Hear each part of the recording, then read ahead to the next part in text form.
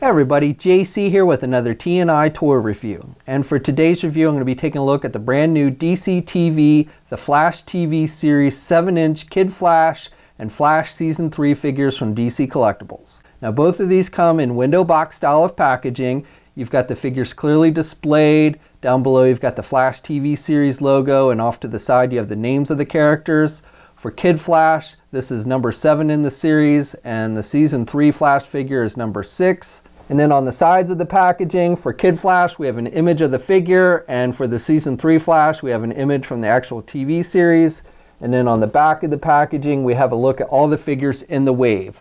So besides the two Flash figures, we also get White Canary, which I reviewed the other day, and the Atom figure, which I'll be reviewing in the next few days. Then down below, it tells us Kid Flash was sculpted by Chris Dahlberg. Sorry if I mispronounced that and the Season 3 Flash figure was sculpted by Gentle Giant Studios. Alright, let's get these open and take a look at what's inside. Okay, so here's a look at the figures outside the packaging along with the other contents. Now, first of all, let me just say a big thanks to the folks at DC Collectibles for sending me these figures so I could review them for you guys. Now, the Flash figure is out at comic and specialty shops now, and the Kid Flash figure will be out in a few weeks, early November. Okay, so I'm going to start off talking about the Flash figure, the Season 3 Flash figure. However, I'm actually not going to spend a whole lot of time on this figure. And the reason for that is this is the exact same figure that we got last year in the two-pack with the Arrow figure. They called it the Season 2 Flash Thin, but it is the exact same figure. And I will say that if you're going to get this figure, and it's not a bad figure, but if you're going to get it, I would recommend that you go with the two-pack version, which is still available at places like Big Bad Toy Store. Technically, it's going to cost a little bit more money because you get two figures in the set, but you get a lot more for your money because not only do you get the same Flash figure that has the same accessories, the three different pairs of hands, but you also in the box set version get an unmasked head sculpt with the figure, which is not included with the single pack version. And then you also get the Arrow figure, which is probably the best Arrow figure that they've done in the line up until this point. So again, if you're going to get this figure, I would highly recommend that you go with the box set version. Now I reviewed the box set version a while back. I'll put a link in the video description below. So if you want to see more on this figure, go check out that review. Okay, now switching over to the Kid Flash figure, which is a brand new figure that we've never gotten before. This one I think they've done a pretty good job on. Now for accessories you get three different pairs of hands. So you get the pair of closed-fisted hands which are attached to the figure when you first take it out of the packaging. And you get a pair of open hands, the standard flash running pose type hands. And then finally you get a pair of grip hands. And these are very similar to the hands that, that come with the regular flash figure. The paint is a little more red on these than on the regular Flash figure, but again, they are very similar to those hands that you also got with the Season 3 Flash. And switching out the hands is easy. You just pop off the hand, you got the peg on the hand and the hole in the arm, and then you just plug in the hand you want to replace it with, and it should pop in nice and tight. And then besides the multiple pairs of hands, you also get two different head sculpts with this figure. You get a masked head, which is what's attached to the figure when you first take it out of the packaging. And I think both head sculpts do a pretty good job of capturing the actor's likeness from the TV series. And then with the masked head, I like the sculpting detail with the little lightning bolts on the side that are done with the red plastic. And these do stick out a little bit from the ears, so you do want to be careful and not catch them on anything because you could possibly snap them off. They don't stick out that wide, so I don't think you really have to worry too much about breaking them, but just use a little bit of caution when you're handling the head sculpt. And then I like the stripes. You got the red stripes on the side of the mask, and I think the skin tone is good. He's just got black for the hair. And the eyes look pretty good on this one as well. They could have maybe given him a little more emotion in the facial expression, but again, I think they actually did a pretty good job of capturing the actor's likeness. Now switching out the heads is easy. You just pull off the head you want to replace. Now with this one, the entire neck piece comes out because with the unmasked head, you get an unmasked neck. So you're actually pulling out the head and the neck on this one, but then you just pop in the, the head that you want to replace it with and it pops in and fits nice and tightly. And then this one is the unmasked head. And again, I think they've done a pretty good job of capturing the actor's likeness from the TV series.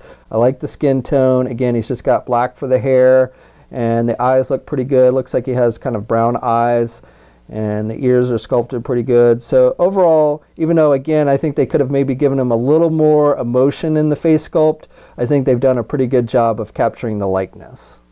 Now for the rest of the figure, I think they've done a pretty good job with sculpting and paint applications on it. You've got this yellow coat that looks like it's actual leather, which is nice. You've got the flash symbol on his chest and that's actually sculpted on there. You've got the maroon color with the white and you can see the actual zipper on the coat, so I like that detailing.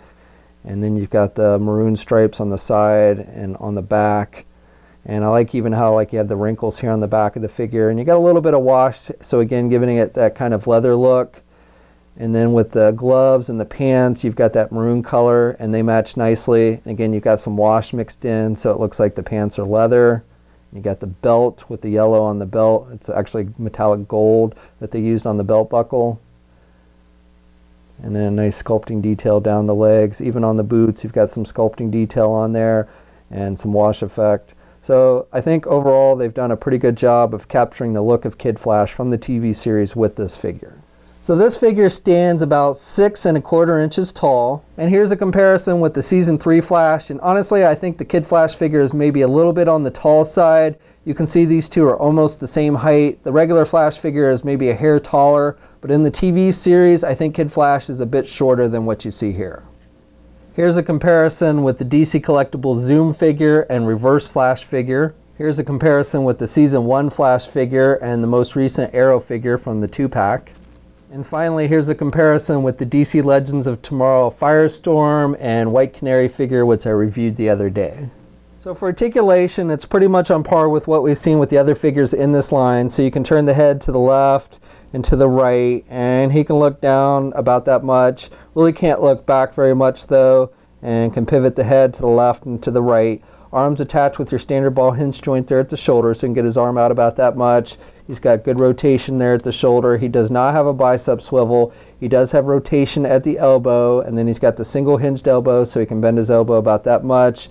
And then you've got rotation at the wrist and hinges on the hand, so up and down movement with the hands.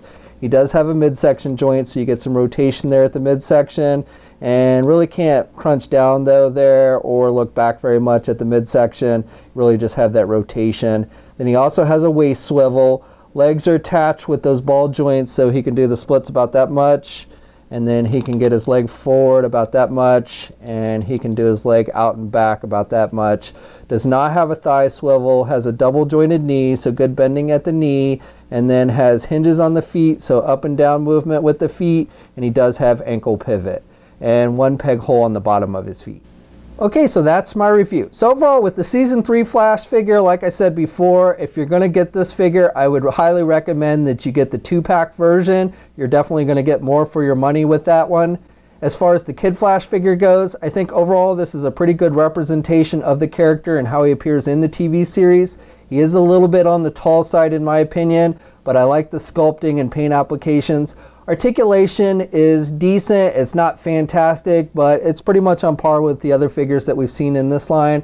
So if you've been collecting the other DC TV series figures, this is one you'll probably definitely want to check out. Now the Season 3 Flash figure is available now at comic and specialty shops. The Kid Flash figure will be released in a couple of weeks. You can pre-order it now at places like Big Bad Toy Store.